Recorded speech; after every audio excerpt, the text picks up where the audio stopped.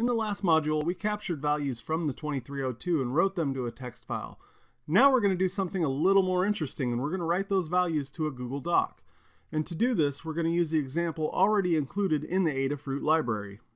Now for the first step, I've gone into my Google Developers Console and I created a new project called Temp and Humidity.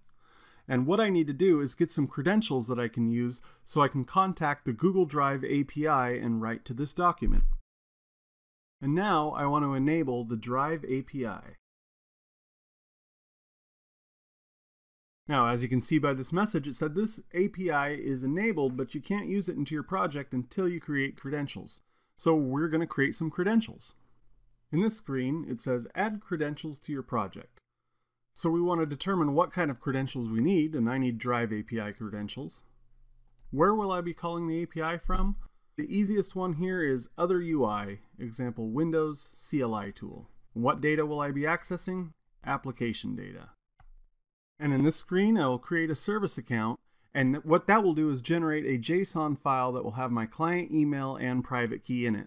Okay, now that I've created a service account, I will download this JSON file and put it on my Raspberry Pi in the folder with the application that I'm going to be writing. Now that I've got it copied over, I can start to work on the Google underscore spreadsheet.py. And now I'm going to need to install a few things. I'm going to need to do an update, install Python pip, and then I'm going to install the gspread OAuth 2 client library from Google. And so I do my update. And now that that's updated, I will install pip.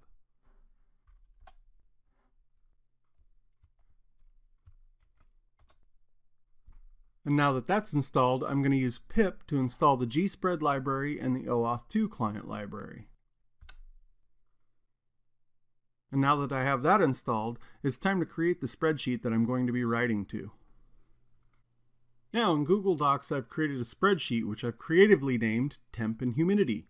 Now one thing we'll need to do is delete all the blank rows out of the file except for the first one, and I'll show you how to do that.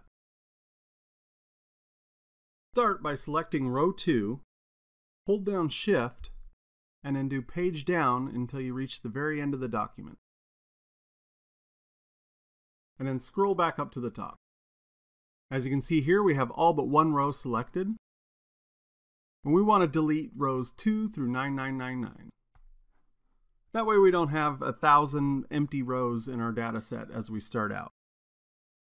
And now let's create a header row with some row names.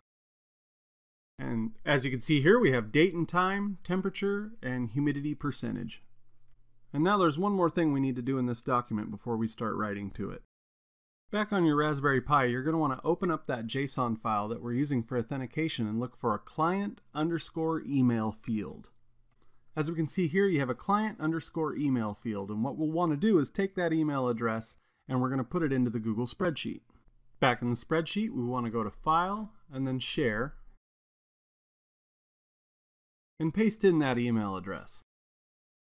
And now your spreadsheet is shared with that address. So we'll go back onto the Raspberry Pi now and edit that Python script that's going to run all this and put it all together. Now back on the Raspberry Pi, let's open up the Google underscore spreadsheet.py. Now the first thing you'll want to look at in this file is DHT underscore type. This is the type of sensor that you'll be using. We're going to be using the AM2302, so we'll need to change this. And now that that's changed, we'll also need to change the pin that the sensor's connected to. And as we scroll down, we have the OAuth JSON location, and that will be the location of your spreadsheet data JSON file that we downloaded earlier, and then the Google Docs spreadsheet name. And the only other setting in this file that you'll need to be concerned with is the frequency seconds. And this is how long to wait in seconds between measurements. We're going to leave it at 30 seconds for now. And let's go ahead and save and close our file and run it. I should note that on some machines you will need to roll back the OAuth 2 client.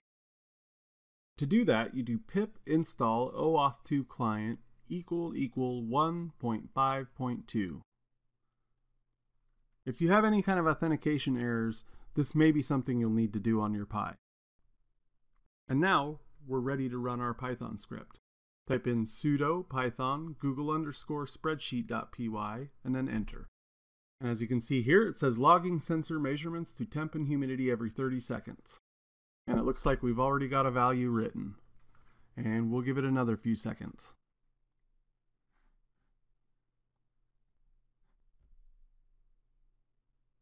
Now let's speed it up a little bit. Now we've got our Google spreadsheet open and we're going to set it to run every 10 seconds this time.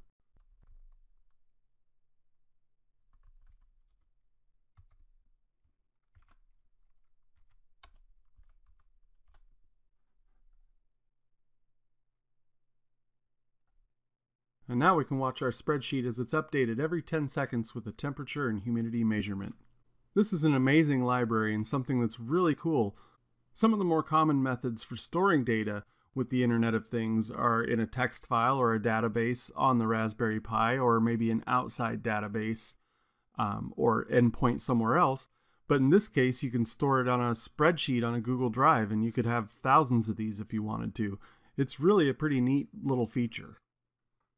In this module, we created a project on Google, we created an auth token and a spreadsheet, and then we installed some dependencies and modified a script to connect it all together. Now you've successfully taken measurements from a sensor and sent it to the internet and stored it in a Google spreadsheet. This is the very essence of the Internet of Things, and we're just scratching the surface.